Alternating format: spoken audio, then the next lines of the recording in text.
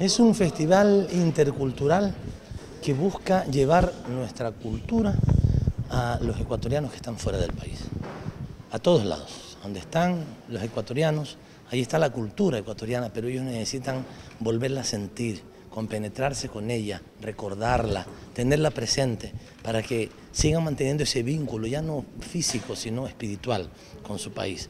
Nosotros tenemos desde en la Cancillería desde hace algún tiempo planificado hacer esto, hacer una presencia regular, permanente de la cultura ecuatoriana diversa, de la sierra, de la costa, de la Amazonía, de las Islas Galápagos y también de nuestros migrantes que han comenzado a, desarrollar también una cultura particular, una cultura que, es, que, que fusiona lo que llevaron de Ecuador al salir de su país y lo que encontraron. Ayer vimos, por ejemplo, una fusión maravillosa de músicos en Chicago que eh, fusionaron la música andina con el jazz eh, norteamericano. Una cosa maravillosa. De eso se trata, de continuar, de permanecer viva, de mantener viva la cultura con eh, los migrantes en el mundo. Así es que lo que hacemos es hacer estos festivales, son interculturales como es nuestro país, nuestro país es un país que tiene varias culturas, tiene muchas etnias, que tiene muchos pueblos y eso lo expresamos en este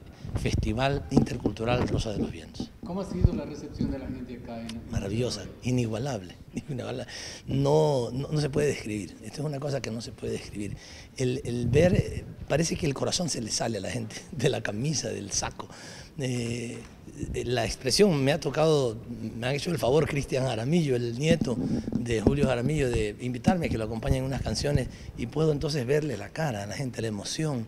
Es como si se transportaran en el tiempo y en el espacio a su país. Es como que si revivieran esa, eh, ese sentimiento de ecuatorianidad diverso que nosotros tenemos y se ponen a cantar, se ponen a bailar, se ponen a recordar. Un señor ahorita me decía, tengo 36 años de no volver al Ecuador, con esto voy a regresar. O sea, esas cosas, eso, eso no tiene valor, no tiene, no tiene cuantificación. Es el sentimiento eh, unido, fusionado desde su gobierno, desde su pueblo, que les envía ese pedacito de patria acá. Y los resultados son realmente maravillosos.